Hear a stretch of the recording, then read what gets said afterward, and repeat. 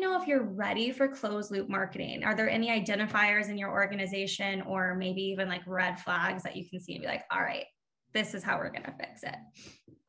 Absolutely. So, um, here, here's the thing if you are doing marketing and you are also doing sales, then you are ready for closed loop marketing.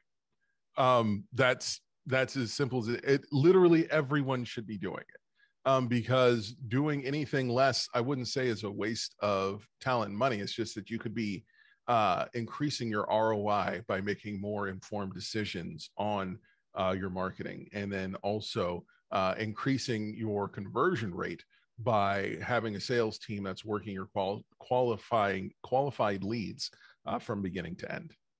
Uh, red flags would be uh, your sales process um, having a sales team that doesn't uh, respond well to change.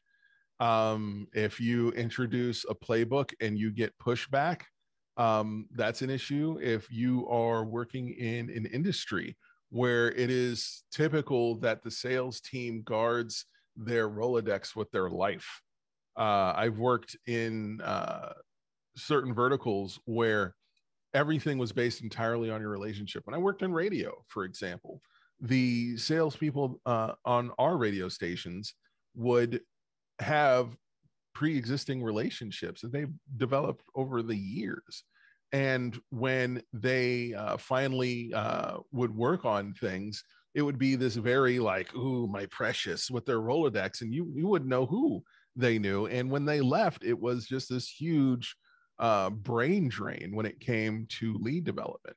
Uh, so one of the the cornerstones of closed loop reporting uh, and closed loop marketing is that it has to be clear visibility 100% on both sides.